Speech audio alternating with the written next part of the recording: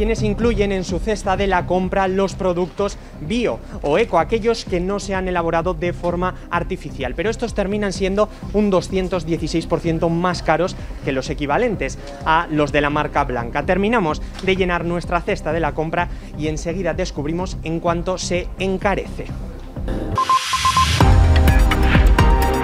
Entramos al supermercado, pero a uno distinto este, un supermercado ecológico. Y para entender qué son estos productos, lo explicamos de una forma sencilla. Todo lo convencional que diríamos que trabajaban nuestros abuelos, que no le echaban nada que química, pues eso. Quienes incluyen en su cesta de la compra este tipo de alimentos notan como su precio es algo elevado. Sí, es más caro, pero a ver, la demanda también es menor. Rocío es entrenadora personal y los productos eco forman parte de su dieta. Cómo nos nutrimos determina, va mucho más allá de tu aspecto físico, o sea, determina un estado de salud, ¿no? Y ella es consciente de ese coste extra. Sí que se te puede encarecer unos 20 euros. Veamos más ejemplos. Un arroz de marca blanca tiene un precio de 1,52 euros y uno eco de casi el doble. Lo mismo ocurre con los garbanzos, el yogur, la harina o la levadura.